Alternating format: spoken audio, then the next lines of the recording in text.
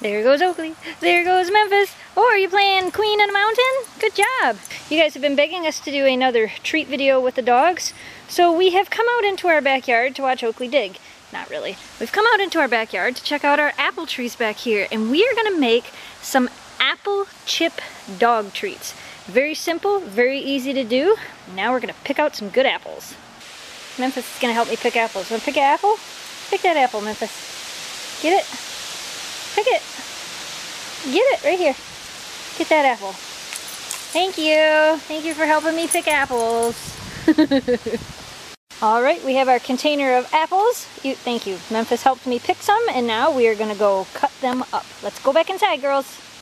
All right, so for this recipe, this is pretty much all you're going to need. Some apples, a little bit of cinnamon, a knife, possibly an apple core. I don't know if it's going to work for these apples because our apples are itty bitty and tiny. These are the apples off of our tree in the yard like you guys saw. They're perfectly good apples. No pesticides were used on our tree, so they're a little bit small, a little bit bumpy, but they're good apples. We've eaten them and so have the dogs. Um, when you're making this recipe, you want to make sure to cut the seeds out of the apples because if if dogs chew on the seeds, it can be dangerous for them. So we have to make sure to core them and remove the seeds. So now we are going to take this we're going to take these itty bitty apples and we're going to see if this is going to work. Let's hope. Memphis, don't knock them all off the table. Thanks, honey. Looks like it worked to me. So using the apple core pulls the core out of the apple. And then we end up with apple slices about this thick. But that's going to be too thick for what we're going to do with them. So now, we're going to take a knife, and we're going to tell the dogs knives are dangerous. Get away. No, you can't. Seriously, fine. Oh my gosh, it's so exciting. Nope, that's not for you. Shelby, you want one? Come here, Shelby. Stop. Shelby, do you want one? Well, apparently Shelby doesn't want one. Sometimes she likes apples, sometimes she doesn't. So what we're going to do now, hopefully you guys can see this, we're going to take this knife and we're going to cut the apples into little thin slices, probably about like that. Once you get your apples cut up, all you gotta do, lay them out on a cookie sheet. Make sure not to lay them one on top of another. You wanna make sure they're just on the sheet. what?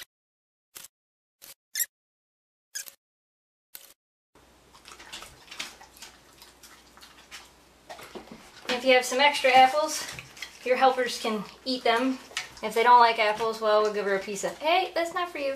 Give her a piece of freeze-dried chicken treat instead. For those of you asking, those are Dr. Tim's natural chicken chips. That's what we gave to Shelby. These are really good. You can get them at chewy.com. The girls really like them. This is an optional step. You don't have to do it, but we like to sprinkle just a little bit of cinnamon on these. And yes, for those of you asking, they're good enough for people to eat too. Now we're going to go put them in the oven. Now, if you'll notice, I did not tell you to preheat your oven anywhere because it's not necessary. You don't have to do it. What you're going to do is you're going to put your oven on the lowest setting that you can, which about 170, 175 is what we're going to use. So you're going to set your oven at 175. You're going to pop the apple chips in the oven, and you're going to leave them in there. Are you ready for this, girls? For about five to six hours. While we're waiting... Memphis likes apples. Oh, is that good stuff? Good stuff, huh? Shiloh used to love apples too. How about you, Oakley? Want a bite? Oh, that's a very nice bite. You gotta get it, you gotta get it.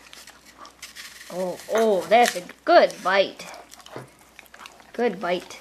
Sure you don't want a bite? Maybe later, huh? Alright, girls. Let's see what they look like. As I hit Memphis in the head with the oven door. Out of here. Ooh.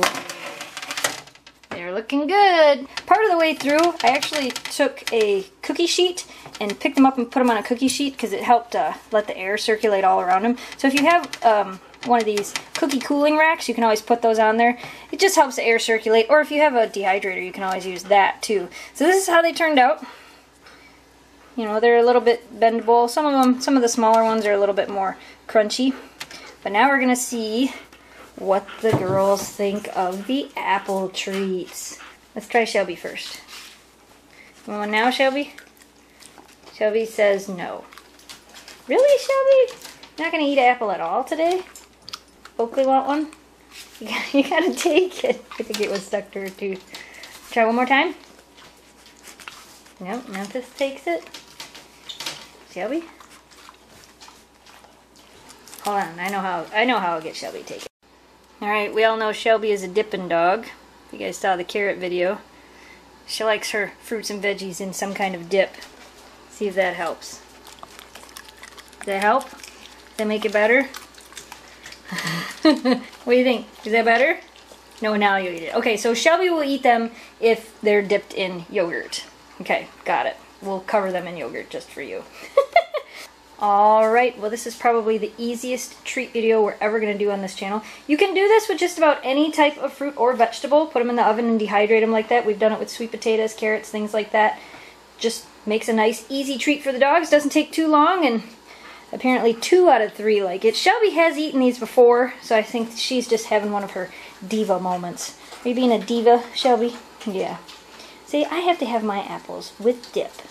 Alright you guys, that's all we have for today. Thanks for watching, thanks for subscribing. If you're new to this channel, hit that little subscribe button to join the audience. I don't think we have much more to say. Shelby's being little Miss Diva. thanks for watching you guys. Stay positive, dream big, and we'll see you soon. Goodbye.